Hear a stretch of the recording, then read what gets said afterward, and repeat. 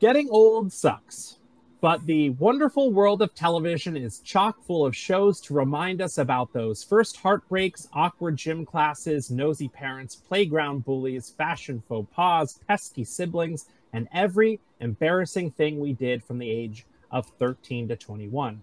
Come to think of it, being young sucked too. But if you're keen to relive the good old days, our very own TV editor Sammy has compiled a collection of the best young adult series to ever grace the airwaves. Sammy, tell us more about it.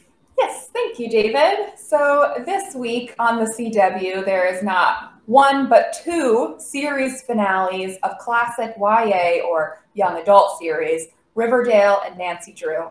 So like David mentioned, thought this would be a great opportunity to visit our YA collection, which houses the best and worst of the teenage experience on screen. I should mention that YA is a teenage audience, usually featuring teenagers, but not limited to that as we are all fans of YA dramas and comedies and the like. So right off the bat, you'll see collections for recently released YA movies and TV, then we have 25 young adult TVs and shows that define the genre, including Veronica Mars, Fresh Prince, Euphoria, Avatar, all very different in genres, but all YA. Then you might ask yourself, but I am not a young adult anymore. Have no fear because we have YA experiences no matter what decade you were born in, including including the 80s, 90s, and 2000s. And then the 2000s is my favorite collection of Disney Channel original movies, which I know we've talked about on the show before and is my favorite collection. A few other categories include shows as dramatic as your life feels, LOL or LOL worthy teen comedies, teen angst but make it sci-fi, shows to stream with the lights on, and teens animated. My personal favorite show in the YA collection has to be Gilmore Girls, which I relive and rewatch every fall relive the chaos and embarrassment that is Rory Gilmore and all of her friends and hijinks. David, Liz, I do believe that you also have some favorites from this collection as well. Please tell. I do. My favorite young adult series is probably not one you would expect, especially since it was canceled after only one season. But trust me, if you want to enjoy one of the best single season shows ever made, go to Netflix right now and watch Teenage Bounty Hunters. The series stars Maddie Phillips and Anjelica Bette Fellini as fraternal twin sisters who unexpectedly find themselves moonlighting as bounty hunters under a cranky veteran bounty hunter named Bowser, played by Kadeem Hardison, who you may know best as Dwayne Wayne from the show uh, from the 80s and 90s sitcom A Different World. In typical adult series or young adult series fashion, the show deals with life in high school, controlling parents, sexual discovery, and the struggles of being a young woman in the modern world, but does so with a large dose of very sharply written comedy and a perfect amount of heart. And when this show dropped in August 2020, in one of the most depressing stretches of the pandemic, it was exactly what I needed.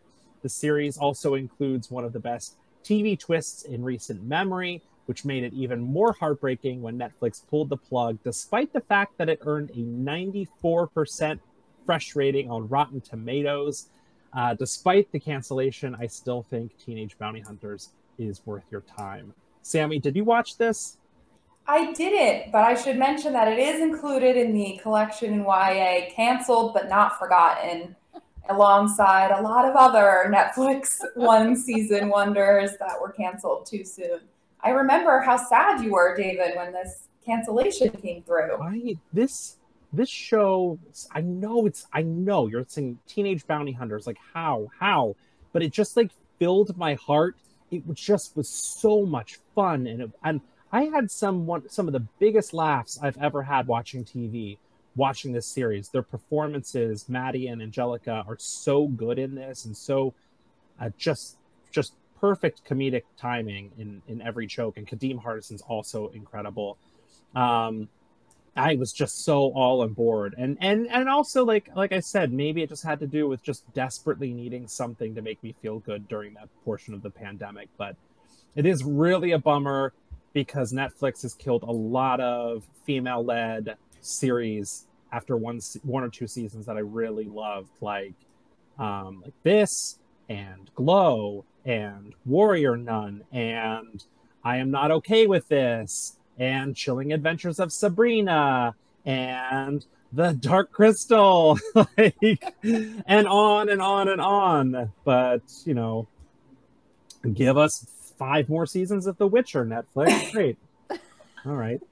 Um, I I just love this show, and really, honestly, like I know it's hard to watch something you know has been canceled, but if you're looking for just a, a good time and the twist at the end, even though we'll never really get a um, any kind of closure you know, closure on it, it's it's a it's good. It's worth it. So yeah, start that petition, bring it back, just like they did for Ahsoka.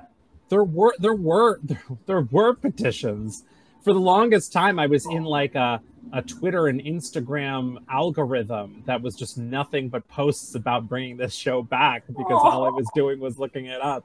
I can't believe no one picked it up, honestly. But and now they've gone on. Uh, uh, Anjelica was in um, one of um, oh, what's his name? Oh my God! Now it's the the director who's got all the very stylized Moonrise Kingdom, Wes Anderson. Ah. She was in a Wes Anderson movie.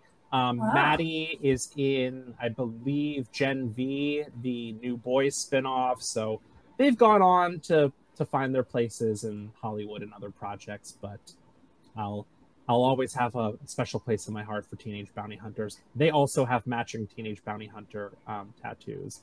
I, why do I know so much about this show? and the stars. It. Liz, please save me and tell us about your favorite young adult series.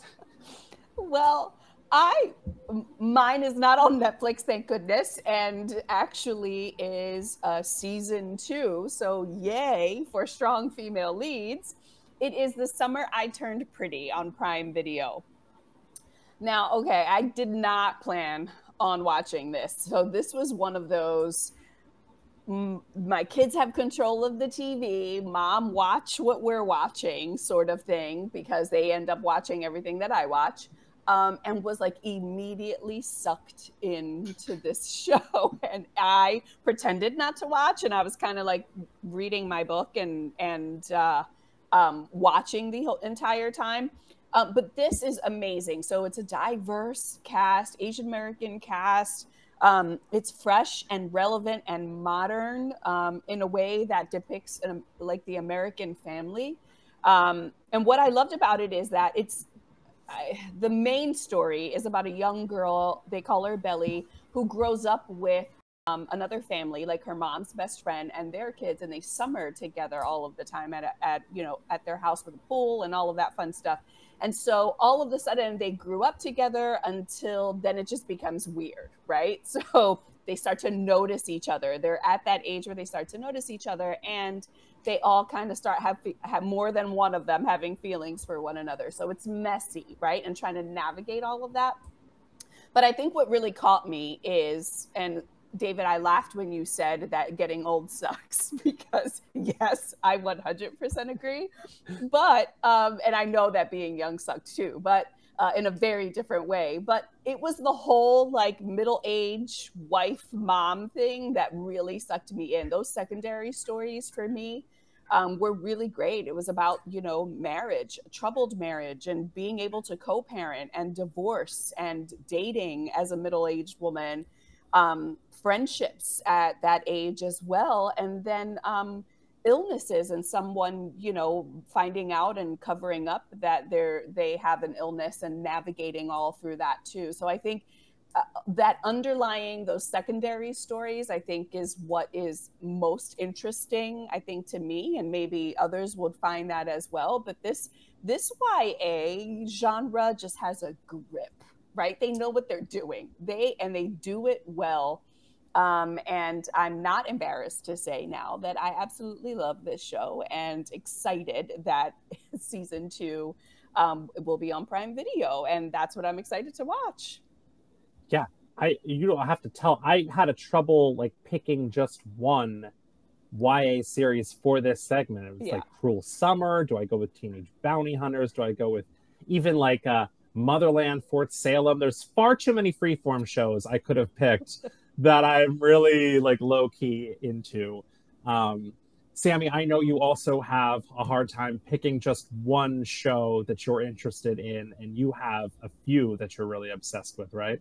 Yes, I I do love this genre, and I I love Gilmore Girls so much. I think it shows the good, bad, and the ugly of just watching Rory Gilmore age from high school, really early high school, all the way through college. Um, she only gets cringier and more difficult to watch, but in a similar vein as the summer I turned pretty, Liz, there's those secondary stories um, following Lorelai and her relationships and her marriages and divorces, whatever. Um, I think that just really rounds out the whole show and it makes it kind of beyond just YA. There's a lot more layers to it. Um, but like I mentioned, the reason we're even talking about this is because of the series finales of Riverdale and Nancy Drew on the CW this week on the 23rd.